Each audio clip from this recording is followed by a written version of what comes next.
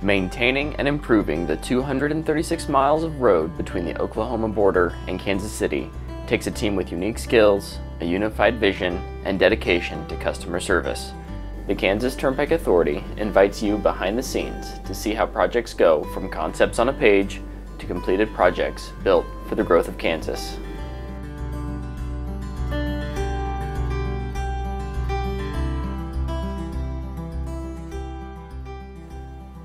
Right now we have more engineering projects in the pipeline than ever before.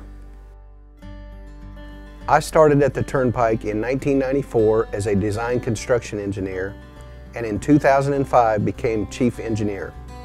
With the release of the long-term needs study, we've given the public a pretty good look at how we plan which projects we're going to do and what we think is in store for the next 10 years. Engineering handles projects from conception to completion.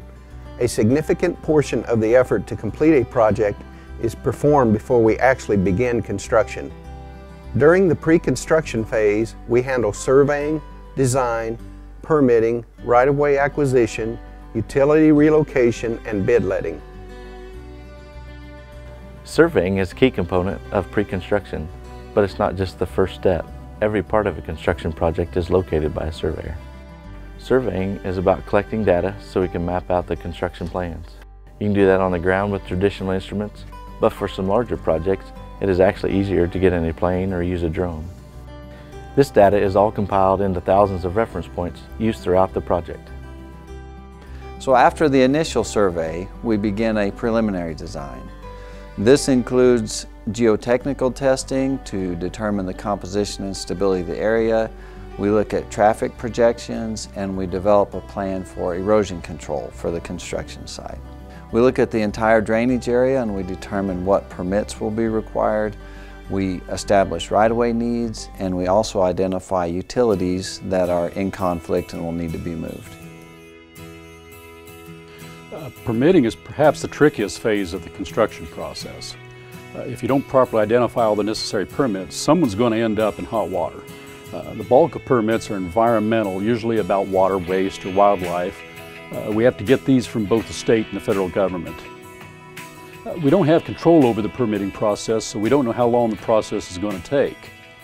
Uh, some permits are received quickly in, say, three months, while others have taken over a year to get. When preliminary design is done, we start with right-of-way acquisition. We get data from the surveyors and design team to determine the land needed for the project. Any land not already owned by the KTA is appraised and we purchase it from the property owner. This is never a fun or easy task, but without the property we would not be able to build the project. Utility relocation is necessary when water, power, gas, cable, oil, phone, fiber lines, or other utilities need to be moved due to construction. These are identified by surveyors and can be located underground or overhead. The KTA meets with utility providers, usually on site, to make sure everyone is on the same page. Uh, the utility providers create a relocation plan, which we review, and once everyone agrees, the plan is complete. When our project plans reach about 50%, work on the final design begins. At this stage, we know where the project is going to be and all its important characteristics. We use all the information to solidify our final design. It's really the point in the project where making major changes to the scope becomes costly or time-consuming. The end of the final design results in a complete set of plans, specifications, and project cost estimate that are ready for use in the project letting.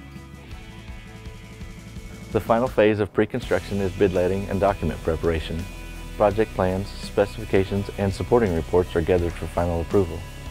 After approval has been given, we have companies bid for the contract. Once a bid is selected, the KTA board must approve them before we can start construction. All this pre-construction work happens before you ever notice construction equipment around the road. We put in a lot of hard work to make sure when construction begins, it happens as safely and quickly as possible. Hopefully this look behind the scenes has shown you that even in pre-construction, our mission is to provide safe, economical, high-quality transportation service for you.